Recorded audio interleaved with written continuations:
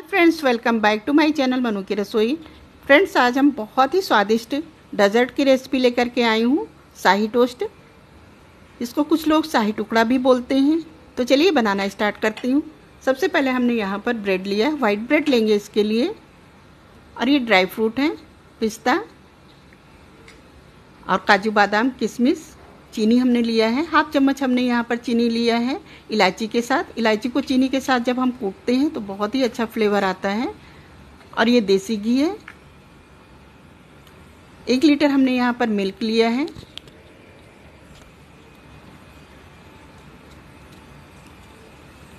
Milk को कढ़ाई में हम चढ़ा देंगे गाढ़ा होने के लिए। गैस पर चढ़ा दिया है हमने मिल्क को। अब इसको हम खौलाएँगे।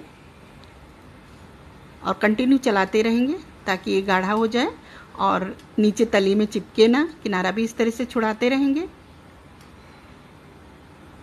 और इसकी रबड़ी तैयार करेंगे हम। इस तरह से ऑलमोस्ट रबड़ी हमारी तैयार हो गई है। अब हम इसमें चीनी ऐड कर देंगे। इलायची पाउडर।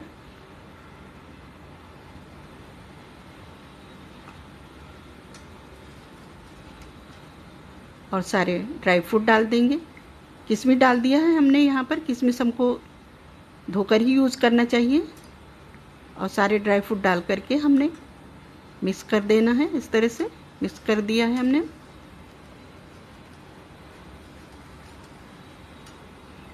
बहुत ही गाढ़ा हमको नहीं करना है, इसी तरह से रखना है। रबड़ी हमारी ऑलमोस्ट तैयार हो गई है। अब हम इसको किसी दूसरे बर्तन में बाउल में ट्रांसफ़र कर लेंगे।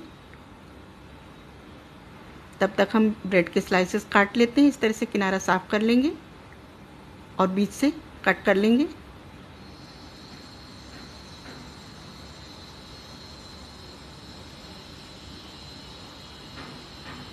सारे ब्रेड इस तरह से कट कर लेंगे हम। पीसेस तैयार हैं ब्रेड के। अब इनको हम तल लेंगे कढ़ाई में।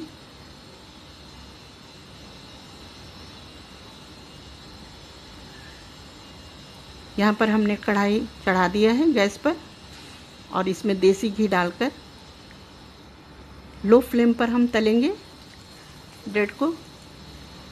इस तरह से पीसेस डाल करके हम तल लेंगे। एक साथ हमको बहुत ज़्यादा नहीं डालना है। दो या तीन या आपकी कढ़ाई जैसा है, छोटी है, बड़ी है, उसी हिसाब से हमको पीसेस तलने हैं। और गोल्डन ब्राउन होने तक इनको हम इस तरह से उलट पलट कर तल लेंगे।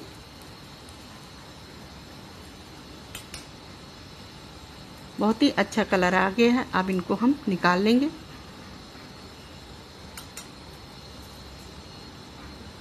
प्लेट में निकाल लेंगे इनको।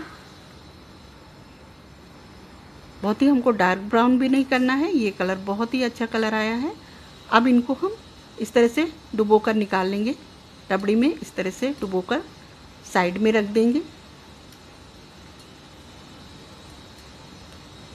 सारे ब्रेड के पीसेस इस तरह से हम डुबो डुबो कर साइड में रखते जाएँगे और हमारे साइज़ टोस्ट तैयार हो गए हैं।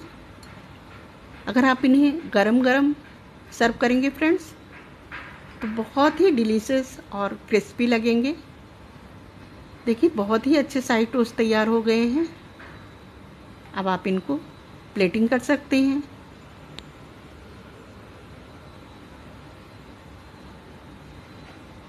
इस तरह से हम सर्व कर लेंगे सारे टोस्ट को, शाही टोस्ट को। आपके घर में त्यौहार आ रहा है, त्यौहार है, अचानक कोई गेस्ट आ गए हैं, बच्चों का मन है, हम झटपट बना सकते हैं। त्यौहार पर भी बहुत ही इजीली बन जाएँगे। और बहुत ही यमी लगेंगे। आप लोग घर पर ज़रूर ट्राई करें। होप आपको हमारा वीडियो पसंद आया हो तो प्लीज़ लाइक एंड शेयर ज़रूर करें। एंड बेल आइकन प्रेस करना ना भूलें। Thanks for watching my video